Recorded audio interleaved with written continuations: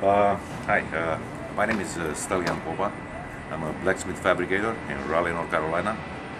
And uh, I am basically attempting to restore a uh, very old uh, Peter Wright anvil. Now, this anvil is uh, probably at least 150 years old, in my opinion, but who knows, it may be older than 200 years. And I bought this from my uh, old man at a farm. I pay $400. I like the thing. I, uh, you know, kind of restore whatever I could, the horn and all that.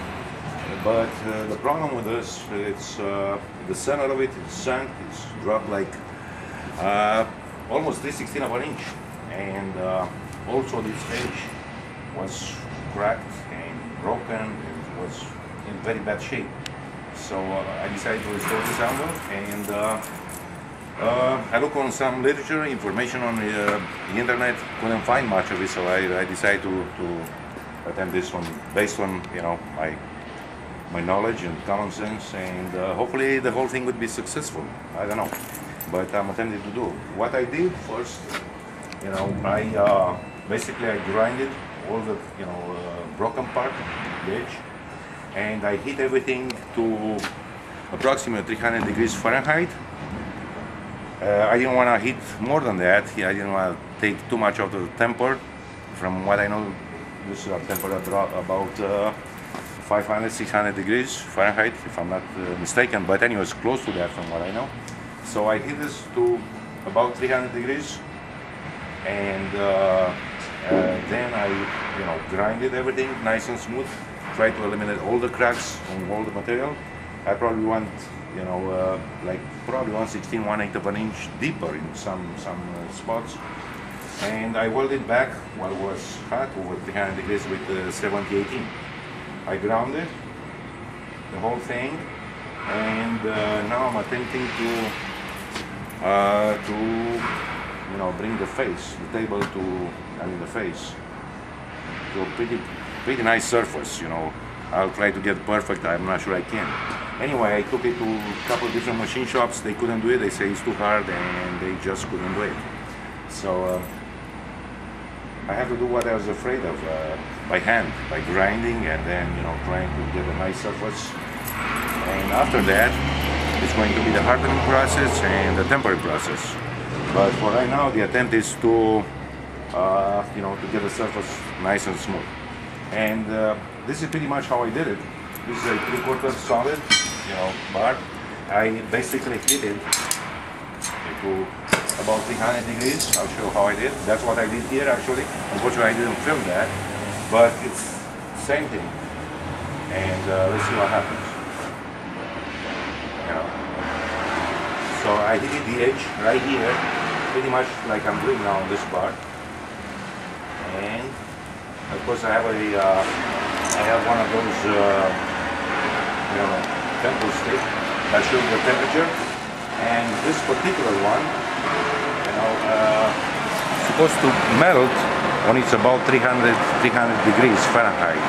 And that will tell me that uh, I'm very close to that temperature and I can perform you know, the welding, which I did. This is just to show how I did it. So I hit it pretty much. It's supposed to keep the torch at least maybe, I don't know, three, four, five inches, it depends you know, on the surface like I did here. And you have to check. We'll try this one. You see, it's starting to melt a little bit. That means I'm getting close to the 300 degrees temperature.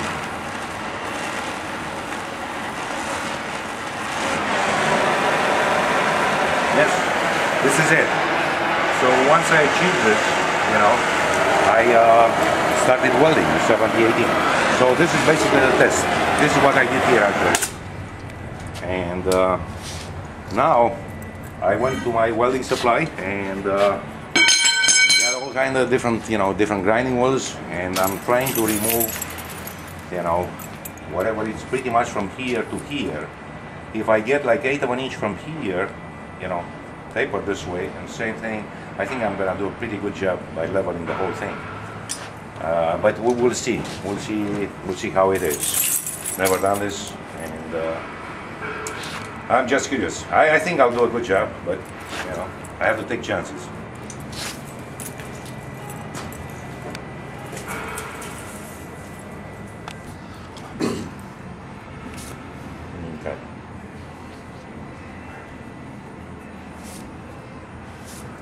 Now these are the things that I'm trying to use. 7 inch uh, heavy grinder, 7 inch hard wheel. I'm gonna use this, uh, you know, disc also, 7 inches. This is grit uh, 40. This is probably the one that I'm going to finish after everything is done. And also I'm going to try to use this. We'll see which one it works and which one it doesn't. But uh,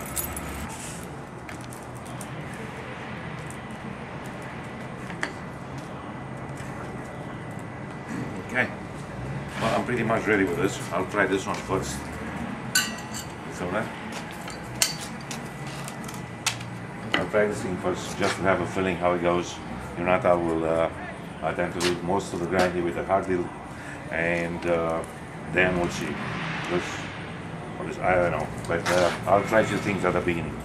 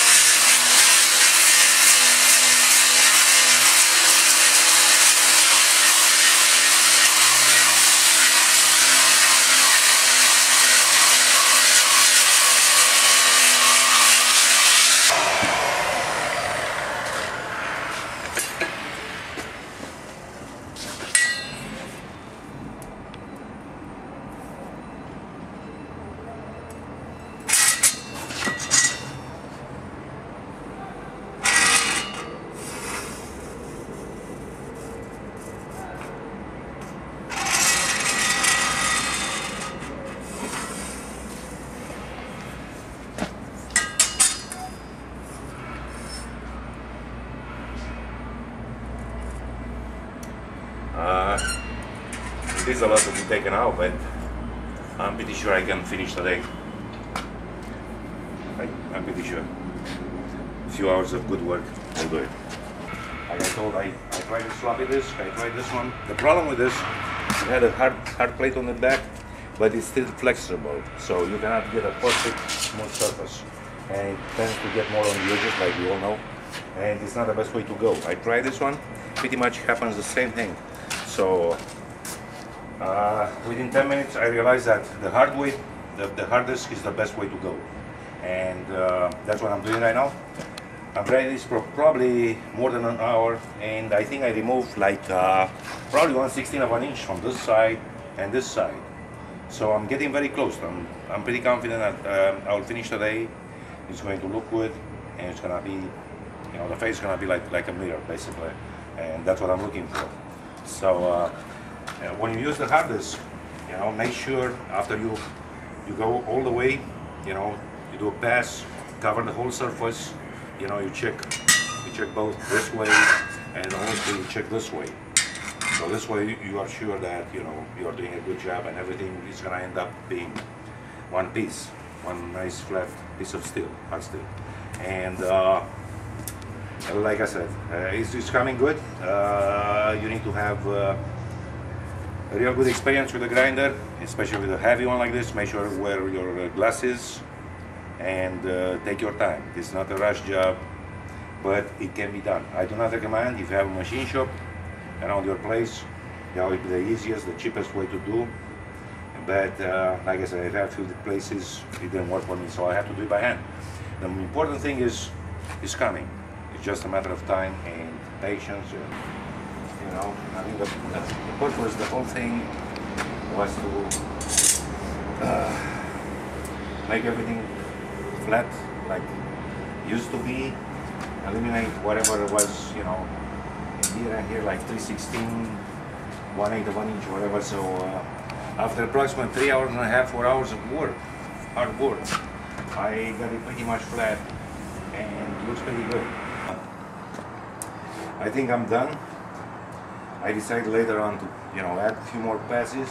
I wanted to uh, straighten the edge and I, I really did a good job. So I added a few more passes here and one more pass in the edge. Grinded everything nice and uh, well, I'm a happy man. Everything came just wonderful. You know, everything is, you know, everything is perfect. It's perfect. It's maybe one hair, you know, but no more than that. Very good job and also this way is perfectly flat all the way. Very good job. Very proud of this. And uh, the next step would be to harden and temper. And that's probably going to be on the lake, on the river, I don't know yet.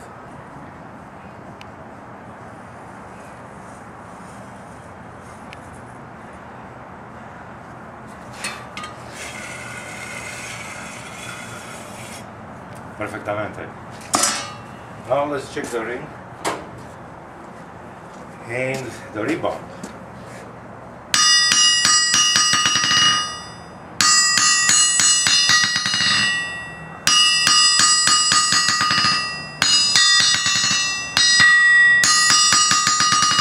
It's still good, but I want it better.